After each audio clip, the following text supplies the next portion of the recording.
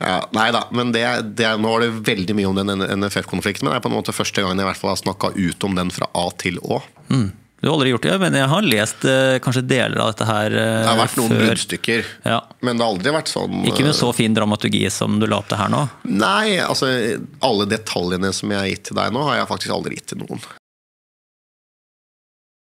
Uh, Men før jeg ble åpnet til den kampen, så starta jo sirkuset med Terje Hauge og meg. Hva var det som utløste det? Var det han linjedommeren som, eh, Ja. som du hadde jobba med? Ja, altså Kort så- fortalt. Ja, kort fortalt. Jeg vet ikke om jeg klarer å fatte meg i korthet, men jeg skal prøve så godt jeg kan. Vi har god tid her. da, Vi har det god tid. Nei, altså det som skjedde her var jo at jeg fikk Jeg har vært på La Manga, som jeg også nevnte i stad. dom- Det er dommersamling på La Manga i januar hvert år. Ja. Jeg har vært på alle samlinger. Aldri forfall. Det er det ingen som har, stort sett. altså. Så det er ikke noe sånn at det er unikt at jeg har vært på alle. Alle har vært på alle. Det er obligatorisk, og det er både lærerikt, og det er viktig, og det er gøy. Men til en forandring. Jeg skulle ikke til La Manga i 2017 Nei. fordi jeg ble far for første gang. Og skulle heller være på fødestua. Det var avklart med Fotballforbundet, det er full forståelse for. Det, det skulle bare mangle, selvfølgelig. Det er aldri noen diskusjon om det var ok, det forfallet. Det var greit. Og så, før vi reiser, så blei det jo masse endringer i disse her dommerteamene. fordi jeg glemte å si en ting. Frank Andås, som for øvrig er eh, en av mine aller beste venner, han var også assistentdommer i teamet til Svein Oddvar Moen. Så teamet i EM 2016 var Svein Oddvar Moen som hoveddommer. Det var Frank Andås som assistentdommer. Det var Kim Thomas Haglund som assistentdommer. Og det var Ken Henry Johnsen og Svein Erik Edvardsen som måldommere. Det var vi fem. Yes. Og så hopper vi tilbake igjen til eh, 2017, hvor Frank Andås av en eller annen merkelig grunn Colina var jo som sagt ikke, mis, var ikke fornøyd da, etter EM 2016. Og da valgte Colina å si til Terje Hauge at du må gjøre noe med det dommerteamet ditt. Du må gjøre noe med toppteamet, for det fungerer ikke. Det sier Colina til Terje Hauge. Og da, Jeg jobba i Fotballforbundet på den tida, så Terje fortalte jo meg dette naturligvis. Og sa at Colina har ringt og vi må gjøre noe, og jeg må snakke med Svein Oddvar. Og så hadde da Svein Oddvar Moen og Terje Hauge funnet ut at vi må bytte ut en assistentdommer. Vi må vrake en eller annen. Og da valgte Moen og Hauge å vrake Frank Andås. Det syns jo ikke Frank var noe ålreit, naturligvis. For han var jo tross alt en av de som punkt én ikke hadde gjort noe feil i det teamet, og punkt to prestert best av alle i EM. Så, det kom jo, så da Frank ringte meg og sa at jeg har fått en telefon fra Terje jeg har blitt vraka fra teamet, så trodde jo ikke jeg det. Jeg trodde han kødda først. Men det gjorde den ikke. Så da, lang historie kort der, så valgte Frank også å slutte. På grunn av det. Så når vi da skriver 1.1.2017, før La Manga, så har både Andås slutta og Ken Henry Johnsen slutta. Så teamet til Moen da består av Moen som dommer og Kim Thomas Hagelin som eneassistenten. Og så mangler det både én assistent og en måldommer for å fylle opp hullene etter Andås og Ken Henry Johnsen. Riktig. Så er vi tilbake igjen på fødestua. Eh, Jeg er der istedenfor på La Manga. Og vi skulle jo da diskutere teamsammensetning. Og så sier Terje Hauge til meg at bare ha fokus på å bli far, og så kan eh, snakker vi om teamsammensetning når jeg kommer tilbake. Og det var helt ok for meg. Og jeg ble far, og vi hadde de vanlige 14 dagers permisjon. Og så var jeg tilbake igjen på Ullevål stadion, og der var jo Terje også. Han var tilbake igjen fra La Manga, og så skulle vi sette oss ned og diskutere teamsammensetning. Og så ringer Svein Oddvar Moen til meg, vi har vært bestevenner i mange mange år, mm. og sier det at eh, som du veit, så er Frank slutta, og jeg trenger en ny assistentdommer, jeg er nummer én. Det er mitt privile- privile- privilegium å velge først, og da velger jeg Magnus Lundberg. Og det, jeg, det måtte jeg bare respektere. Og for jeg, Mine assistenter var jo da Jan Erik Engan og Magnus Lundberg. Ja. Mens Moen trengte en ny assistent, og at da dommer nummer én tar en av assistentene til dommer nummer to, ingen problem. Sånn har det alltid vært. Okay. Nummer én må få velge først. Yes. Det er helt fair. Men det som var greia var at Magnus Lundberg ville jo egentlig ikke bytte team. Men øh, han hadde heller ikke så mye valg, da. Når dommer nummer én vil ha deg, så bør du bli med. Dette har jo med kjemi å gjøre. altså Det er mange ting som spiller inn her. Men lang historie kort. Det nye toppteamet blir Moen, Lundberg, Haglund, Edvardsen, og så blei Tore Hansen med. Som da var ranka som nummer tre. Og så, men so far so good, ingen problem. Og det nye dommerteamet var og dømte en kamp i Europaligaen. Det gikk heller ikke bra. Nei. Men det er en annen historie. Um, og så tar jeg da for gitt naturligvis da, at jeg får lov å velge assistentdommer som dommer nummer to. Så lenge jeg er ranka som nummer to. Det, har vært, det er ikke noen regler som sier det, men det har vært en etablert praksis i 30 år. Da Terje Haugen selv dømte. Eh, og så sier jeg at jeg ønsker da Jon Michael Knutsen. Og Jon Mika Knutsen var da assistentdommeren til Tore Hansen. Og så sier Terje Hauge at uh, du får ikke lov å velge som nummer to, du skal velge som nummer fire. Og da spurte jeg hvorfor skal jeg velge som nummer fire når jeg av Uefa og Fifa er ranka som nummer to. Ja. Det forstår jeg ikke. Og da var svaret at som dommersjef bestemmer jeg at det skal være sånn. Ok. Og da, Jeg trodde jo ikke det jeg hørte, fordi at jeg hadde jo jobba så tett og godt med Terje i to år. Bygd opp dommerskole sammen på breddenivå. Jeg hadde ansvaret for uh, inkludering og verdiarbeid, og han hadde jo dommere. Altså. Jeg hadde jo ingenting med dommere i toppen å gjøre, selvfølgelig, så lenge jeg dømte sjøl, men jeg var med og bygde opp dommerskolen på Nordic Cup, blant annet. Og kollegaer i sikkert fem, Masse. 15 år? Ja, ja. Og jeg har vært fjerdedommer for Terje mange ganger, og sånn, så jeg fikk jo helt sjokk. Ja. Så bare tenkte jeg, faen, hva er det som skjer her nå? Er det han som ønska meg lykke til som far, og er det han jeg har samarbeida med i to år, som sier at som dommer skal bestemme at det er sånn? Så jeg klarte å Det er jo sånn at når du holder på med dette i 25 år, og liksom var nummer to i Norge, da, så har du jo ambisjoner. Og da vil du gjerne ha et team som du er trygg på, og vil bli behandla fair, i hvert fall.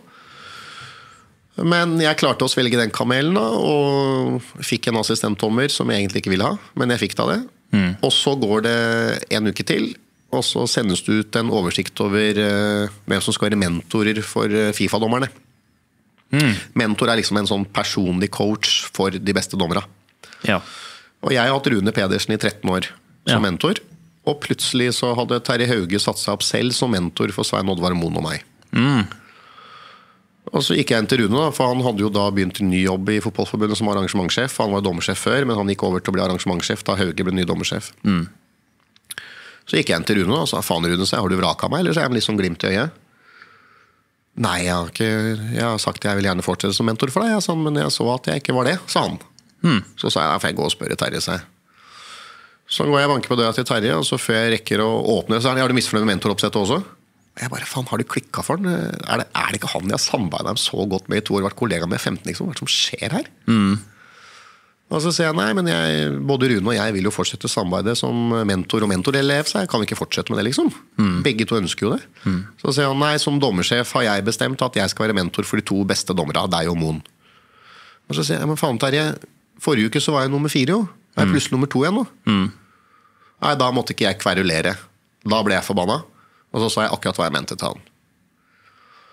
Og så resulterte det i at han begynte å sende ut Nei, ikke, ikke først. Og så var vi ferdig med det, da. Men da sa jeg akkurat hva jeg mente til. Ikke noe uhøvisk og noe stygt. Jeg bare sa akkurat hva jeg mente. At jeg føler meg urettferdig behandla. Jeg føler at du har en helt annen kommunikasjonsform du har hatt i 15 år. Hva er det som foregår her, liksom? Er det noen som er ute etter meg? Hva, hva, er, hva er dette for noe? Det er jo ikke fair. Og så fikk jeg ikke noe svar på det, selvfølgelig. Bare som dommersjef bestemmer jeg, det må du respektere. Ha det bra. Fryktelig sånn arroganse som jeg aldri har opplevd i hele mitt liv. Og så, um, midt oppi dette her, så begynte, sendte han ut dommeroppsettet til første serierunde, og jeg ikke får kamp. Da begynner jo hele Media-Norge å lure, ikke sant? Ja. Nå er det første serierunde, hvorfor dømmer ikke Edvardsen? Og da var det selvfølgelig bare løgnaktige svar til media den gangen. Og liksom, nei, men vi er, vi er 13 dommere i Eliteserien, og det er åtte kamper, alle kan ikke dømme første runde. Og bare, som alle skjønte bare var piss. Ok. Um, og så midt oppi dette kaoset her, da, hvor media begynner å skrive Edvardsen raka fra første runde og sånn, midt oppi dette kaoset her, så kommer det plutselig en mail fra Fifa. Hvor Svein Erik Edvardsen har fått sin første VM-kvalifiseringskamp, som Colina har satt opp. Oi, shit. Og da blei jo sirkuset et faktum. Da var jo god nok for Colina, men for dårlig for Hauge. Og det var jo et mediasirkus uten annen verden. Fordi Terje Hauge bestemmer jo ikke hvilke dommere Fifa velger. Det er det jo Colina som bestemmer. Så situasjonen var altså sånn at jeg fikk ikke dømme Eliteserien i runde én i 2017. Men jeg måtte jo reise til Bosnia og dømme VM-kvalik. Det er jo helt sjukt. Det er helt sjukt. Og da, når folk spurte meg da, hva tenker du om at du har fått denne VM-kvalifiseringskampen, og da sa jeg nei, det syns jeg er helt fantastisk. Jeg jobba for det i mange mange år, og endelig har jeg fått min første VM-kvalikkamp på seniornivå. Det er jo helt fantastisk. De spiller jo om å kvalifisere seg for eh, VM i 2018 i Russland. Ja. Så at jeg skal til Bosnia i en heksegryte og dømme, gleder jeg meg veldig til. Er det noen du vil takke? sier jo VG. Da sier jeg jeg vil takke Rune Pedersen. Han har vært mentoren min i 13 år. Jeg har gjort en fantastisk jobb. Jeg, uten han hadde jeg aldri vært der. Ja. Og så veit jo jeg at øh, Jeg har jo jobba i NFF i fire år, så jeg har jo mange gode kollegaer og kilder der, jeg. Så da veit jo jeg at, det, at jeg da hylla Rune Pedersen. Det ble oppfatta som at det gjorde jeg for å sparke til Terje Hauge, som skulle bli min mentor. Og det var ikke min intensjon i det hele tatt da. Men det helte ytterligere bål på Eller ytterligere Bensin. bensin på bålet, da. Ble jeg fortalt. Og da kom jo dommer opp, så reiste jeg til Bosnia og dømte. Så spurte jeg jo Terje, jeg har jo ikke assistentdommere, så hvem skal være med egentlig? Så han, de havna i en fryktelig vanskelig situasjon når jeg plutselig fikk han fra Fifa. Ikke sant? Altså, jeg kan jo ikke dra til Bosnia og dømme aleine. Og de assistentdommerne eller Jan Erik Engan var jo klar. Han fra Bergen som er en fantastisk assistentdommer, han var jo klar. Men hvem skal være med som nummer to? Fordi at den andre assistenten som jeg fikk tildelt før jeg fikk kampen fra Fifa, han hadde jo ikke Fifa-merket på brystet. Nei. Og da kan jo ikke han dømme en sånn kamp. Men han ble sendt? Nei, han kunne ikke være med, han. Nei. Så jeg sa til Hauge jeg fikk jo ikke lov å velge. Skal jeg dømme med én assistentdommer da i Bosnia, eller?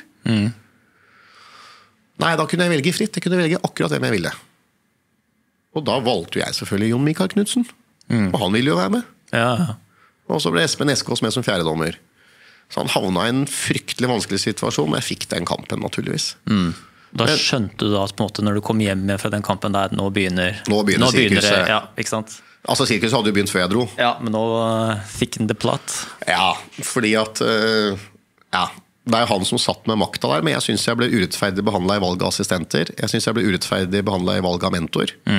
Og jeg syns det var urettferdig at jeg da som Norges nest beste, eller nest høyeste rangerte dommer, da, ikke fikk kamp i første serierunde, som har vært praksis i 100 år. Så liksom, jeg følte meg litt urettferdig pga. de tre tinga. Men så fikk jeg den Fifa-kampen. Jeg må innrømme at det var en payback time. Det må jeg innrømme. For da, det var ikke noe god kjemi da. Og når jeg fikk Fifa-kampen, så spurte jeg til Terje skal jeg dømme alene, eller skal jeg ha en assistent. eller? Så jeg skjønner at ikke han syntes den attituden var noe ålreit. Men den situasjonen hadde han satt seg i sjøl. Syns jeg, da.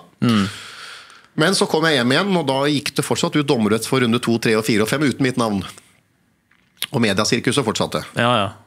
Nok en runde uten, å, det var hver runde. ikke sant? Det var oppslag hver runde. Og da har jeg, jeg har jo kjent Jon Christian Elden i 16 år. Jeg har aldri hatt brukt for han før nå, da. Bare så, Ja, ja. bare så det er klart. Men vi har, jeg har kjent han i 16 år, og vi er veldig, veldig gode venner. Mm.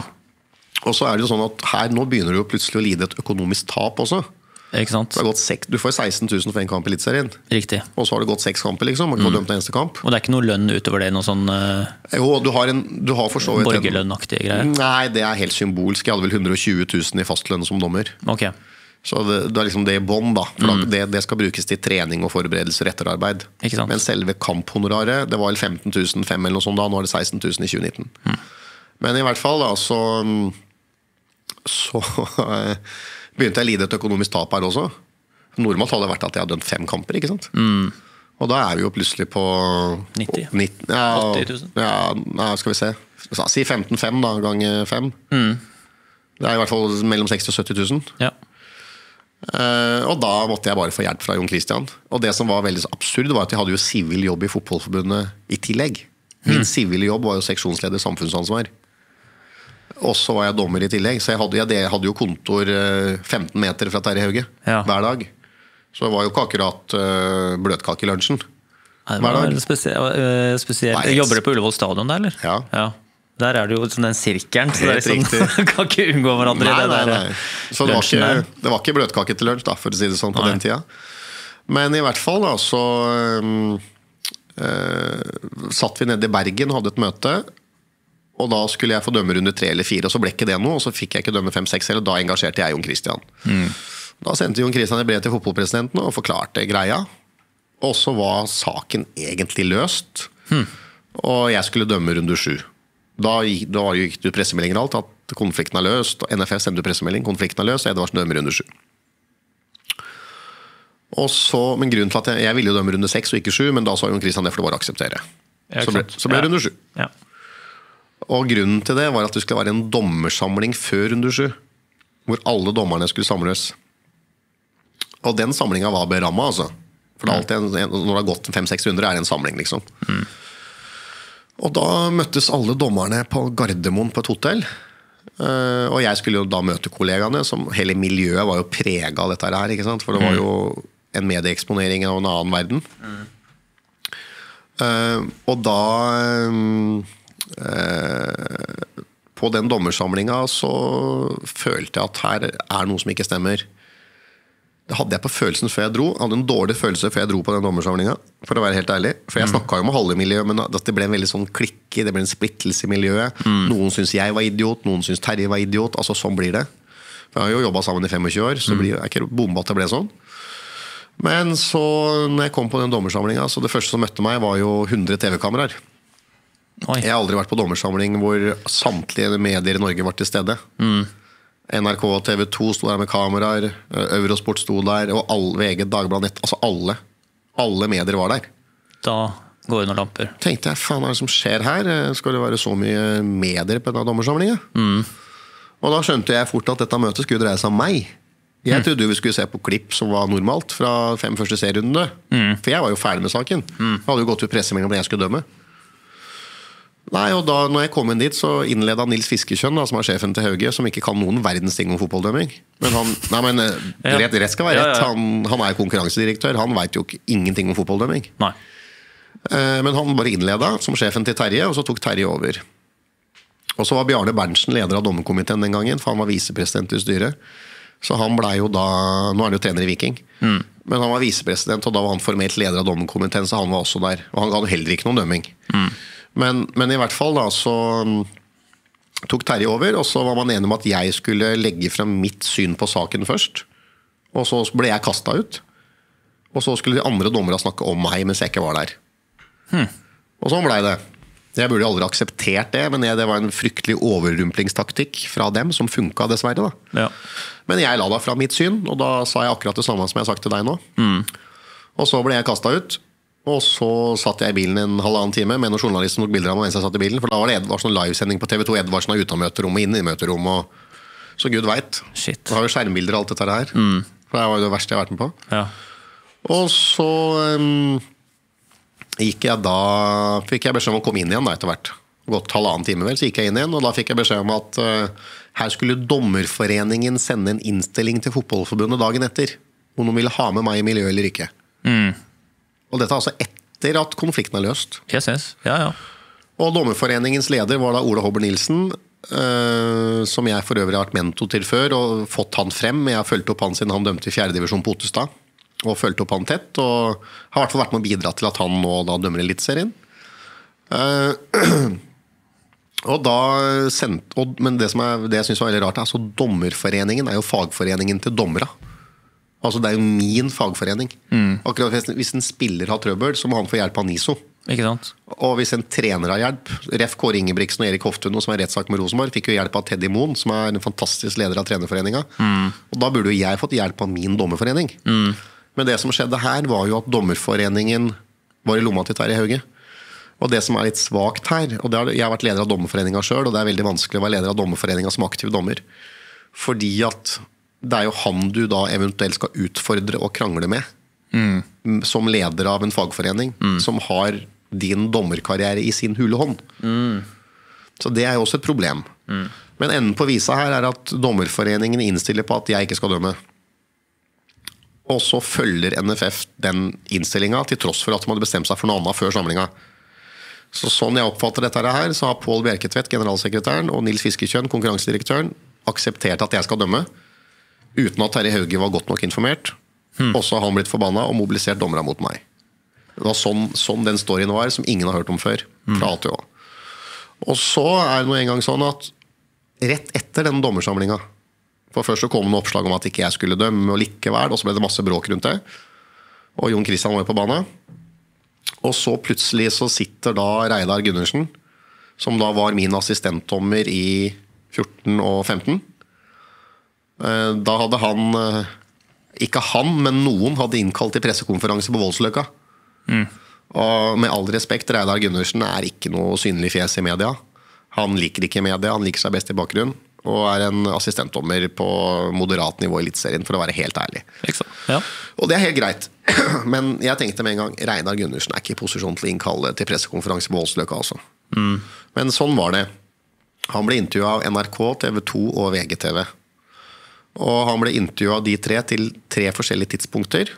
Og han tok da til tårene tre ganger til tre forskjellige kameraer. Og det var pga. to tekstmeldinger jeg hadde sendt for to år siden. Så han, han, grein på, han, grein direkte på TV til tre forskjellige kameraer til tre forskjellige tidspunkter pga. noen SMS-er jeg hadde sendt han for to år siden. Mm. Og vi har jo dømt masse sammen etter de to meldingene ble sendt. Og dere har det, og dere har snakka sammen, og dere, ja, har, ja, ja. Og dere klarna luften og helt pakka ja, det? har aldri, jeg har aldri ja, Vi har aldri snakka om det i meldingen, egentlig. For jeg har ikke oppfatta at det har vært noe bråk rundt dem. Nei. Jeg har ingen som har sagt til meg at uh, dem ikke var uh, som dem burde. Men vi har jo dømt sammen i Vi dømte jo sammen i 14 og 15, mm. og de meldingene ble sendt i 13. Så du, og du hadde glemt de meldingene?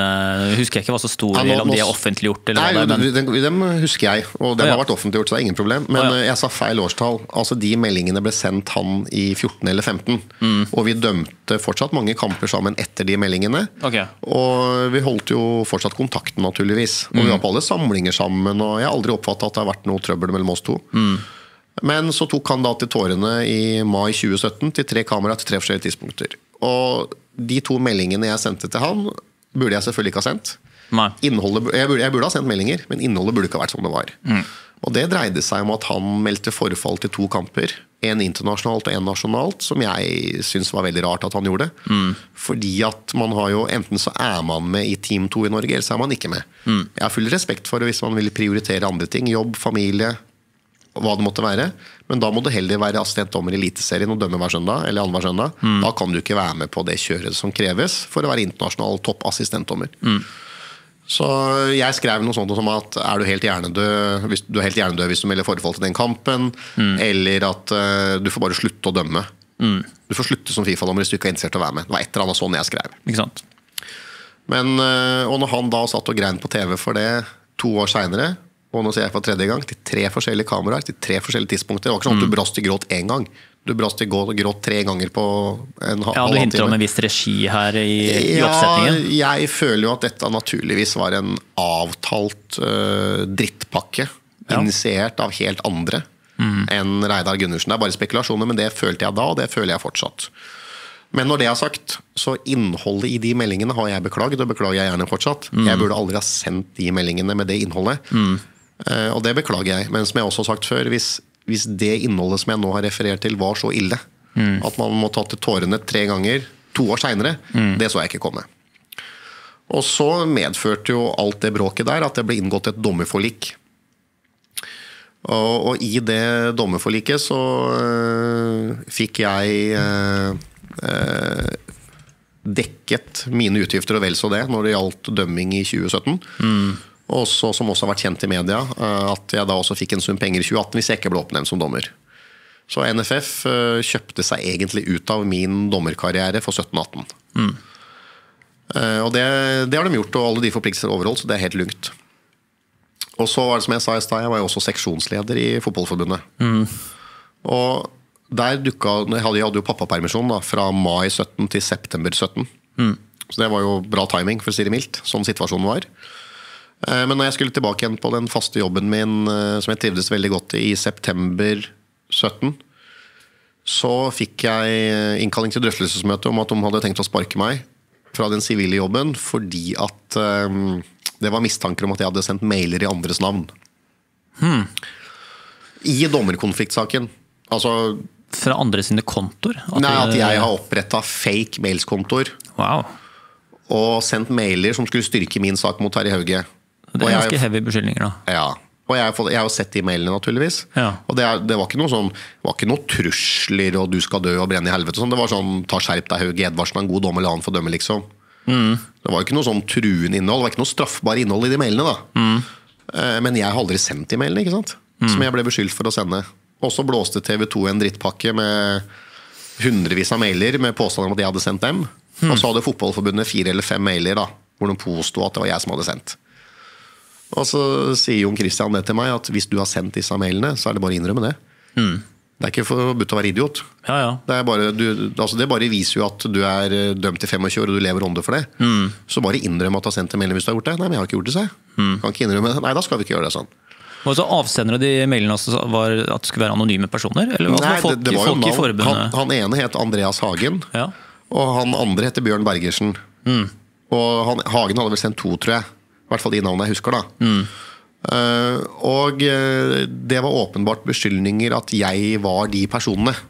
Altså Jeg Mm. hadde oppretta Andreas Hagen Hotmail.com og begynt å sende det. ikke sant? Ikke sant? Og Bjørn Bergersen. Mm. Men jeg har jo altså ikke gjort dette her. Og så, for å gjøre en veldig lang historie kort, så fikk jeg avskjed. Jeg ble, Hmm. jeg, fikk, jeg ble avskjediget fra min faste stilling som seksjonsleder pga. påstander om fake mails som var sendt i anledning dommerkonflikten. Mm. Ikke anledning seksjonslederjobben. Så jeg ble avskjediga, og hvis man leser arbeidsmiljøloven, så avskjedigelse får du hvis du voldtar noen på jobben, eller stikker ned noen, eller gjør virkelig straffbare forhold. Alvorlige forhold, da. Fordi en avskjed i arbeidsmiljøloven så er det tre sanksjoner. Det er, det er uh, irettesettelse, tror jeg. Og så veit jeg i hvert fall de to andre. Det er oppsigelse og avskjed. Ja.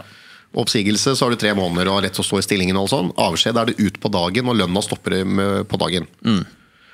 Så jeg ble, fikk avskjed, så jeg ble pælma ut på dagen, og lønna stoppa på dagen. Og da har du to alternativer. Det ene er å saksøke arbeidsgiver, eller å akseptere det. Og så er det jo sånn at selv om når lønna stopper, så stopper jo ikke utgiftene. Og hvis du skal engasjere advokat, så må du regne med en 80 000-90 000 i måneden i tillegg. Og hvis du da har utgifter på si 30 000 da, i måneden, så får du en advokatregning på 80 i tillegg. Så hvordan du, skal beklare, hvordan du da skal klare å betjene en utgift i måneden på 120 000 når du har null inntekt, og du får 12 ukers karantenetid på Nav før du får dagpenger, som selvfølgelig ikke er nok uansett til å dekke de utgiftene, så er jo det blytungt. Så vi følte jo at arbeidsgiver her utnytter avskjedsinstituttet. Så, men, Så, altså, ja. så du ble avskjediga. eh, var det i bunn og grunn bare pga. de mailene? Ja. Eh, og timingmessig så tenker du automatisk at det er veldig beleilig å bare få meg ut uh, Ja. så fort jeg er tilbake fra pappaen, for de kan ikke gjøre noe mens du er i permisjon. Jo, de kunne det, men de kjøpte seg litt tid, dem òg, sannsynligvis. Ja, pluss at det ser vel kanskje ikke så bra ut å sende noen ut i en pappaperm. Det er jo også litt sånn Nei, så når jeg skulle tilbake igjen Nei, det er helt riktig. Når jeg skulle tilbake igjen 4.9.17 på jobb, så fikk jeg ikke komme. Da fikk jeg avskjed. Og det jeg leste på TV 2 at jeg hadde fått sparken. Før jeg hadde fått noe fra ha. dem. TV 2 erfarte det før vi hadde vært i drøftelsesmøte. Ja, ok, Men da har det lekka ut da, på et eller annet vis. Selvfølgelig Fotballforbundet som Så- lekka det. Fotballforbundet var jo sitert i saken. Det var det, ja? Ja, ja. ok. Nei, så Davy Vatne skrev den saken, og Pål Bjerketvedt var sitert. Mm. Så mens jeg og Jon Christian Elden var på vei til drøftelsesmøte på Thon opera, Mm. så kom det nyhetsvarsel om at jeg hadde fått sparken. Mens vi var på vei til møtet. Mm. Så da saksøkte vi dem, og så ble det inngått et forlik eh, lørdag 9.6 i fjor, to dager før vi skulle møtes i retten. Ah, Og da kjøpte de seg ut av problemet nok en gang. ja, Så, eh, og masse media løpende her da, hele året. selvfølgelig. Så um, dem har vi inngått to forlik, et dommerforlik og et seksjonslederforlik. Så um, de har rett og slett kjøpt seg ut av problemet. Og det som er litt hyggelig etter de for min del, er jo at han ene personen som Fotballforbundet har påstått har vært meg, han har jo nå stått fram og sagt at det er jeg som sendte mailer. Ha. Så det var en midtside i Hamar Arbeiderblad nå i sommer. hvem var det, da? Det er en fra Mo i Rana som eh, ikke har noen tilknytning til meg i det hele tatt. Nei. Og fotball, da, da har Geir Ellefsen, sikkerhetssjefen i Fotballforbundet, tidligere politimann som skulle etterforske dette her, Uh, han ring, hadde fått i oppdrag fra Fotballforbundets ledelse om å ringe rundt til alle disse som hadde sendt disse her eh, påståtte fake-mailsene. Så han hadde jo ringt til han som het dette i Mo i Rana, mm. Og har sagt at eh, du har vel ikke sendt disse mailene? Jo, det har jeg gjort, sånn. Ja. Og da, det var ikke det svaret han Ellefsen hadde håpa.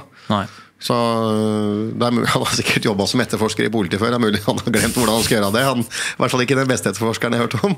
Men, men øh, når han da ikke får det svaret han håper, at det faktisk var han i Mo i Rana som hadde sendt en mail, og ikke meg, så ble han trua med politianmeldelse hvis han hadde tenkt å støtte meg i retten. Ja, det der fikk jeg med meg. Men heldigvis, da. Så hadde han baller, han i Mo i Rana som jeg aldri har møtt. Aldri, vet ikke hvem er, aldri møtt, vet ikke hvordan han ser ut. Men jeg snakka med ham på telefon, naturlig nok. For han var jo stevna som vitne i rettssaken. Han skulle jo vitne på telefon fra Mo i Rana og si at 'jeg har jo sendt Mailer. Ja. Men eh, det ble ikke noen rettssak, fordi Fotballforbundet Gikk forlik der. betalte seg ut på oppløpssida der også. Ja. Så da Men er, er, er, er sagaen over nå, sånn rettsjuridisk sett? Nei, han er jo- han er altså, jo ikke det. Kanskje man må dele i to deler her. da, altså Den seksjonsjobben, du kommer vel aldri til å jobbe i. Fotballforbundet? Den er vi enige om. Den er vel sånn, eh, Uansett eh, av de to tingene, så eh, så kommer du aldri til å jobbe i Fotballforbundet, sannsynligvis. Det er riktig. Sannsynligvis. Men den andre tingen er jo ditt videre liv som eh, Du er fortsatt i alder til å bli, være fotballdommer. Ja, ti år igjen. Ja. Ja da, nei, altså igjen da, det er helt riktig, vi må skille de to tinga. Altså seksjonslederjobben, skråstrekk seksjonsledertvisten, den er vi ferdig med. Ja. Det er ikke noe bråk rundt den. Nei. Der er vi forlikt, og vi er enige om alt. Yes. Ingen problem. Når det gjelder dommerforliket, så er en del av det forliket at Fotballforbundet skulle forplikte seg til å legge til rette for min tilbakekomst som toppdommer. Det står i forliket. Og det er gjentatt flere ganger i mailer fra Nils Fiskekjønn og i media fra både Fiskekjønn og Bjerketvedt. De har sendt SMS til media blant annet, hvor de har sitert via SMS. Om at det er en avtalefesta sak, det er en kontra kontraktsmessig sak om at jeg skal få muligheten til å komme tilbake igjen som toppdommer. Og det er NFF sin plikt å legge til rette for min tilbakekomst. Sagt på norsk, det har NFF drit i. Det har de gitt blaffen i. Og da mener jo vi det at det er jo et brudd på dommerforliket som medfører at jeg lider et økonomisk tap. Og i 2016 tjente jeg 700, det var siste året jeg dømte. Da tjente jeg 720 000 som fotballdommer. Og da må vi gange det med ti år. Det er 7,2 millioner. Så vi har varsla et uh, søksmål mot Fotballforbundet på 7,2. Og dem har svart lykke til med søksmålet. Og det har vi ikke sendt inn ennå. Nei. Så der er der det står Der står saken nå. Og jeg hadde et møte med Jon Christian eh, for et par uker siden, hvor vi på en måte har lagt strategien videre. Og det er klart at eh, de skal fortsatt få muligheten til å legge til rette for min tilbakekomst, men mm. hvis dem, vi forutsetter at de følger dommerforliket. Og hvis de har tenkt å fortsette å gi blaffen i det, så må vi møtes i retten. Hva er det, det er kanskje en side av samme sak, men hva, sånn helt ærlig, hva er det du er mest interessert i her? Er du, er du hypp på å bli ferdig med det her og få ordna opp i økonomien og gå videre i livet og fortsette med det du gjør akkurat nå? Eller vil du tilbake inn på banen med Fifa-badget på, på brystet? Uh, Fifa-badger på brystet kan vi glemme når du er 40 år, fordi Uefa Fifa ønsker nå å satse på yngre dommere, og det må man bare respektere. Så Fifa-dommerkarrieren er over, det er det ingen tvil om. Men jeg har fått opplevd eh, 60 kamper internasjonalt. Jeg fikk Ja. dømme min første VM-kvalik. Jeg var med til EM, selv om det ikke gikk som vi hadde håpa. Jeg har fått vært med og, Mer enn de fleste. ja, da, vært med på alt i Champions League, på de store stadionene. Real Madrid, Barcelona, Chelsea, ManU. Altså overalt. Ja. Ja. Så jeg har på en måte opplevd det jeg kan, føler jeg, som internasjonal dommer. Og jeg har ingen ambisjoner internasjonalt. Men jeg, hadde, jeg har fortsatt ti gode år i Eliteserien. Tommy Skjerven er 52 nå og dømmer fortsatt, og er veldig god. Så jeg har ti år til. Og Så min ambisjon er å dømme i Eliteserien, som jeg holder på å si alltid har gjort. Og det er ikke de penga som er viktige for meg. Men som Jon Christian sier, altså Oslo tingrett deler ikke ut dommerfløyter. Oslo tingrett deler ut økonomisk tap hvis de fastslår at noen har litt det. På en usaklig grunn. Ja. Og vi mener jo det at her tas det jo usaklig og utenforliggende hensyn. uh, som medfører at jeg ikke får dømme. Jeg vet ikke om du ser det, men jeg har i hvert fall klar, holdt formen med like. Så jeg skal klare Du ser veldig bra ut. Nei, det var Og ikke det. solbrun Det var- også. Det var ja. det er- Svart, vet du, vært i Tyrkia. Ja, det, Nei da, nei da, jeg sier ikke at jeg ser bra ut, men jeg skal i hvert fall klare de fysiske krava som eh, man må bestå Ja. for å dømme Eliteserien. Det har jeg sett på sosiale medier, at du, du Ja. trener mye og dokumenterer det resten av deg. Er, det mye, er det mye som beep-trening og sånt? Du, Nei, det er ikke så mye beep-trening, men jeg eh, Altså, jeg har alltid posta, posta mye i sosiale medier, spesielt om trening. Det er, Ja. det er ikke noe jeg har begynt med etter at jeg begynte å tviste med Terje Hauge. etter at du ikke var på TV 2? Nei, nei, da, nei, ikke sant. Nei da. Eh, Jeg har eh, jo alltid gjort det. Mm. Men jeg prøver å trene en tre-fire ganger i uka. Ja. Og følger Uefas treningsprogram som jeg har, og syns er veldig bra. Mm. Så jeg løper på mølla fire ganger i uka, og litt eh, styrke innimellom, selv om det ikke akkurat ser sånn ut. Så Men hva er Uefa sitt styrke- eller treningsprogram? Er det veldig spesifikk eh, det, er stort sett in, det er stort sett intervaller på mølle. Mm. Eh, jeg, en vanlig treningsuke for meg er f.eks. at du Jeg ser an litt uh, dagsformen, men de fire øktene jeg pleier å kjøre på i løpet av en uke, er fire fire minutter. Da løper jeg fire minutter slapper av i to, løper fire, slapper av i to. Det er én dag. Ja. Neste, eller ikke neste dag, men En annen økt er ti tominuttere. Du løper i to minutter, slapper av ett, løper i to, slapper av ett ti ganger. Yes. Det neste er seks treminuttere. Løper i tre, slapper av ett og et halvt, løper i tre, slapper av ett og et halvt. Og den siste jeg pleier å kjøre, er en sånn pyramideøkt. Hvor du kjører fem to-minutter og fem tre-minutter, og så hviler du halvparten. Det er, knall, det er jo solid. Du må jo ha veldig, veldig god kondis. Eh, da. tar du sånn OT-opptak-test og sånn, eller? Nei, det er lenge. jeg gjorde det for mange mange år siden, men jeg har ikke gjort det nå på, på lenge. Eh, og så er det jo dommertesten som man må bestå. Den tok jeg vel nå for et par uker siden for moro skyld på mølla, bare for å teste at liksom, du er i rute. Ja, ja.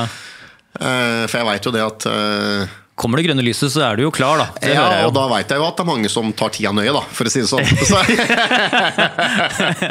så jeg bør ikke stryke deg med tresko, men, men i hvert fall dommertesten, det er jo Du skal løpe 15 sekunder og slappe av i 15 sekunder. Mm. Eller gå. Ute, er- altså Testen er 15-18. Du skal Ja. løpe i 15 sekunder, gå i 18, løpe i 15, gå i 18. Det var du som hører på. Det er noe å teste deg på. Ja, og gjør noe deg på. gressbane. Ja, og, Men nå skal jeg komme med et enda bedre forslag til de som hører på. Og det er Ja. at Å prøve dommertesten på tredemølle. Da stiller du inn mølla på hastighet 18. Og så løper du 15-15 40 ganger. 15 sekunder på, 15 sekunder av, på, av, på, av.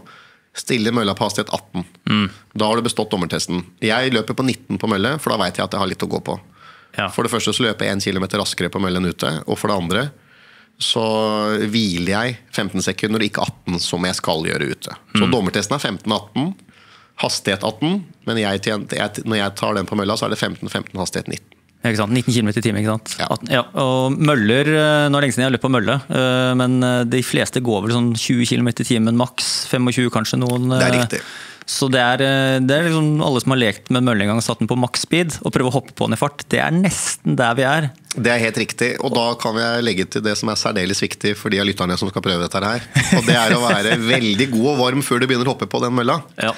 Ellers så får du strekk, garantert. Så jeg varmer opp et kvarter på hastighet 10 før jeg begynner. Jeg pleier å kødde med at det er jo de som pleier å høre på disse podcastene, de kan vare tre-fire timer. da, og De som henger med helt til slutten, er gjerne mine faste, gode vekterlyttere. Så kult. Eh, og så de, de, dere som er på vektervakt nå, hvis dere jobber på et sted sånn som til Nord Arena her, masse korridorer og masse plass, kjør noen intervaller. Få det litt svett under den der, eh, den der uniformen. Og for guds skyld, fortsett å ta vare på meg når jeg kommer og møter dere, uansett hvor dere er på jobb.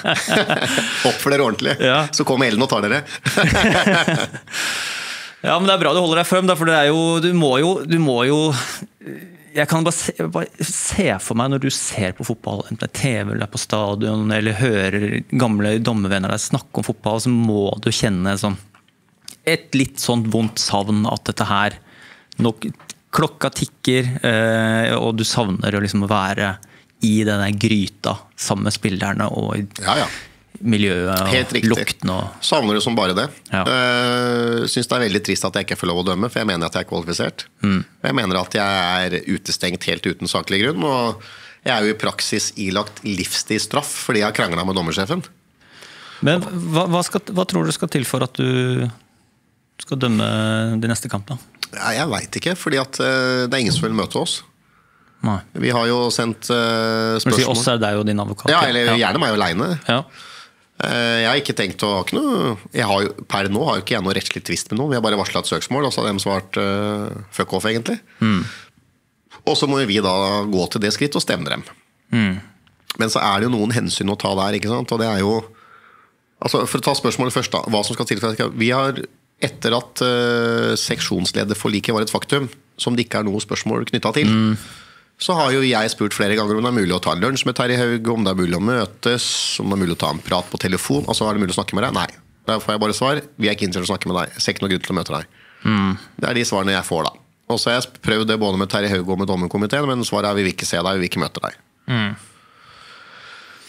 Og det har ikke vært noe brev fra Elden, altså. Det har vært jeg som har spurt på Ja. vanlig SMS og mail. Kan vi møtes og ta en prat om dommerkarriere, liksom? For vi har et dommerforlik. Jeg bare lurer på når skal, dere, når skal dere fylle opp deres forpliktelser? Mm. Er det noe fra deres eh, hold uh, som er sånt Hvis du gjør dette, så eh, er vi villige til å gå i dialog? Eller er det en sånn Ingenting. Er det en eller annen sånn ting? En eller annen sånn utestående uenighet? Er det- Et spesifikt ting? Eller er det Nei, liksom det er bare det- en, Det er det vi ikke forstår. murvegg? Det er en murvegg. Som rett og slett, altså Det er en maktarroganse som jeg aldri har opplevd maken til. Hvor du bare sier at hvis du vil saksøke oss, så gjør du det. Vi vil ikke snakke med deg. Hvis, hvis det hadde vært jeg er jo Mitt spørsmål er jo hva må jeg gjøre for å ha muligheten til å komme tilbake igjen og kvalifisere meg som toppdommer? Ja. Jeg skjønner jo at ikke jeg skal dømme Brann og Rosenborg i år. Ja. Og ikke neste år heller. Kanskje men altså, Poenget er at du begynner jo ikke der. Det forstår jeg. Men det har jo vært andre dommere som har vært ute i to år pga. av langtidsskade. Og det som har vært praksis da, at man har kommet tilbake igjen. Vært rangert på det nivået man var, altså Eliteserien. Men har selvfølgelig dømt noen kamper i Obos-ligaen først for å se at dette funker som det skal. Og ikke minst treningskamper. Så jeg er egentlig bare interessert i å jeg har egentlig bare to spørsmål. Én, hva må jeg gjøre for å komme tilbake? For å kvalifisere meg. Og to, hvordan ser tidslinja ut? Altså, hvor, Hva er vårt felles mål i forhold til når jeg skal være klar igjen for å dømme Eliteserien? Klokka jobber jo definitivt bare mot deg. Nettopp. Og, men når ingen vil svare meg, og ingen vil møte meg, så er det veldig vanskelig. Så det virker som at uh, de vil at vi skal saksøke dem. Og så virker det som at de ikke tror vi kommer til å gjøre det, så da får vi vel gjøre det, da. Men er du, er du villig til å legge, legge bort alt det hvis du kunne dømt eh, neste helg? Ja, Ja. Absolutt. Altså, jeg har bare lyst til å dømme fotball. Altså, selv om 7,2 millioner høres mye penger ut. Altså, det er jo ikke Jeg vil jo heller dømme de ti årene og få de penga, mm. istedenfor å gå retten og eventuelt vinne eller tape. Men, men i forhold til retten, ikke sant. Altså, i praksis så er jo jeg Nå skal ikke jeg holde noen juridiske prosedyrer for Jon Christian ta seg men det er klart at jeg er jo i praksis ilagt livstidsstraff som toppdommer. Ja, det altså, jeg er har jeg ilagt et, sagt yrk, før, et yrkesforbud. ja.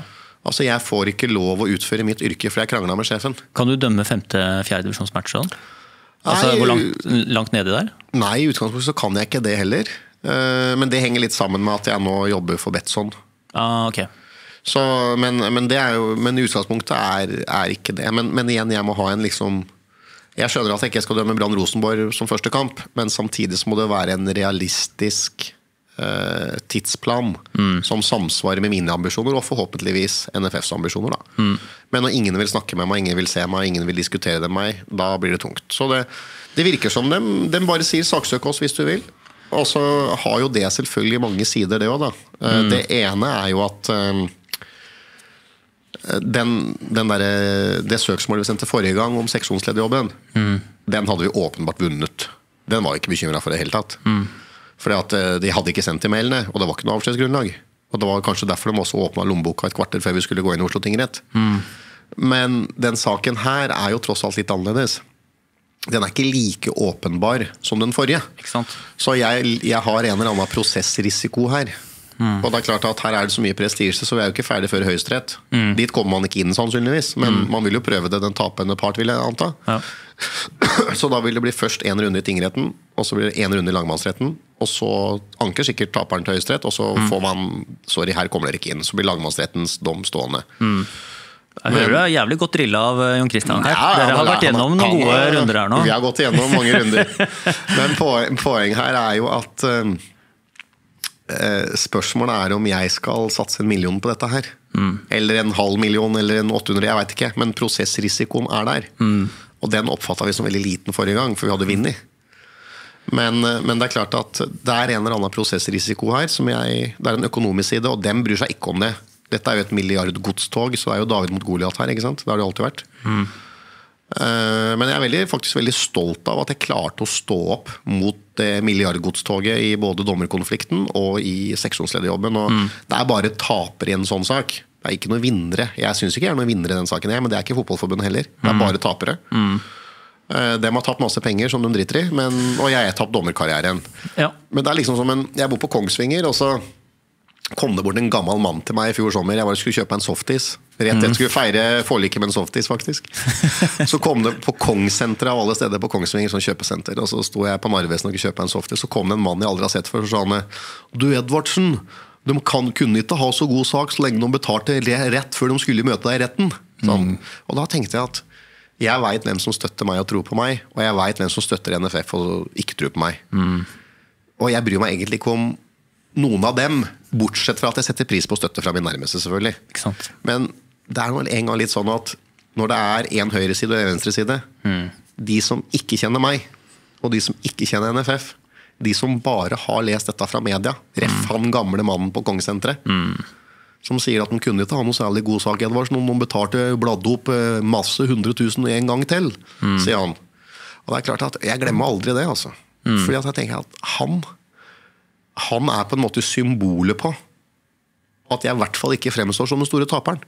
Altså, Hvorfor skulle de bla opp lommeboka på nytt hvis de hadde grusa meg i retten? For det er én ting kan jeg love deg, prestisjen er så høy i den saken her. Ja. Så hvis det er noen som hadde ønska å se meg blø i Oslo tingrett og ha en regning på en million, så er det Fotballforbundet. Var i hvert fall det i fjor. Men allikevel så blar de opp da 550 000 pluss egen, kostning, pluss egne omkostninger. Ja. 550 var bare til meg og Christian. Dette fremgår av pressemeldinga som ble sendt ut. Og I tillegg så betaler de egne omkostninger og meglingsmannen. Og det er i tillegg til alt man har betalt til Mm. Så, men, men igjen, nå høres det ut som jeg prøver å fremstille meg selv som en vinner, og det er jeg ikke. For det er bare tapere i den saken.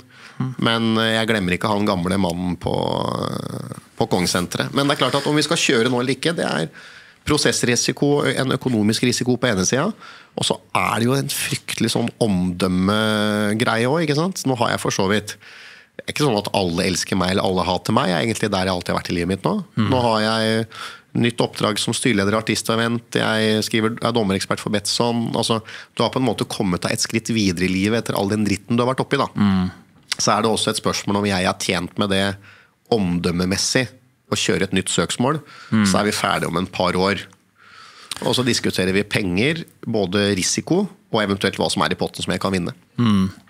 Hva, hvis det skulle komme inn en ny dommersjef for Terje Hauge innen veldig si, kort tid, vil det, tror du, bety at du har veldig større sannsynlighet for å komme tilbake igjen som dommer? Ja, Er det mye, er det der? Ja, det opplever jeg absolutt. Eh, som advokaten til Fotballforbundet har skrevet til oss, eh, som svar på det søksmålsvarselet, så skriver han at NFFs ledelse ikke kan overstyre dommersjefen. Nei. Fordi at det blir litt sånn, Og det har jeg en viss forståelse for. Det er jo, det er jo ikke sånn at hvis Martin Ødegaard ikke blir tatt ut på landslaget, så kan jo ikke han saksøke Fotballforbundet for det. Og samtidig så kan jo ikke generalsekretæren gå til Lars Lagerbäck og si at du må ta med han Ødegaard. Altså, så jeg skjønner det. Men min, og som dommere da, i forhold til rettssikkerheten til dommere, så er jo det null. Fordi at du får en årlig kontrakt. Og det er helt greit, det. Du blir opp, nye dommere åpnes for hvert år. Du får en dommerkontrakt med NFF fra 1.1 til 31.12. Og det er Terje Hauge som bestemmer hvem som får de dommerkontraktene. Og så, så de sier han alltid at det er dommerkomiteen som bestemmer, det er bare tull. Dommerkomiteen består av frivillige personer som har åpnet på fritida si. Det er Terje Hauge som bestemmer det, det er ikke dommerkomiteen. Selv om det formelt er det. Det veit jeg alt om, og det veit alle som følger med litt. Men, men i hvert fall så er det nå engang sånn at øh, når du får en årlig dommerkontrakt, akkurat som en spiller, får en ettårskontrakt i Sogndal, så løper den ett år. Og så er det opp til klubben om du får forlengelse eller ikke. Sånn er det med dommere. Og det er helt greit, men i min case er spesiell. Fordi at jeg har et dommerforlik som ingen, ingen andre noen gang har hatt. Hvor NFF har en forpliktelse å legge til rette for at jeg skal ha en ny kontrakt. Men den gir de blaffen i. Det er det som er tvisten. Ja. Så, det- og det, der, er- det står ingen tidsaspekter i de forliket whatsoever. Det, Nei, det vi har konkludert med er at Eller det Jon Christian har konkludert med, er at dette er et pengekrav. Fordi at man kan jo ikke Rett deler jo ikke ut dommerfløyter, som sagt. Så hvis vi skal saksøke dem, så er det et pengekrav. For at jeg lider et økonomisk tap fordi at de ikke følger det man er forplikta til. Og det er en foreldelse på tre år. Og dommerforliket ble signert i mai 17. Det betyr at i mai 20, før mai 20, så må noe ha skjedd. og, da er, det- og etter det så Da er det gone. Da er det gone, altså. Ja, da er det forelda. Så hvis ikke jeg har levert en stevning til Oslo tingrett eh, før 9. mai 2020, da trenger vi ikke å snakke noe mer om eventuell mer tvist med NFF. Og hvis jeg sender det før, så lover jeg at du får det med deg. Da booker vi en podkast her i slutten av april, tenker jeg. Mai neste år. Ja, det kan vi gjøre. Ja. Ja, nei da, men det, det, nå var det veldig mye om den NFF-konflikten, men det er på en måte første gangen jeg i hvert fall har snakka ut om den fra A til Å. Du har aldri gjort det, men jeg har lest eh, kanskje deler av dette her eh, Det har vært noen før. bruddstykker, Ja. men det har aldri vært sånn Ikke med så fin dramaturgi som du la opp til her nå. Nei, altså alle detaljene som jeg har gitt til deg nå, har jeg faktisk aldri gitt til noen.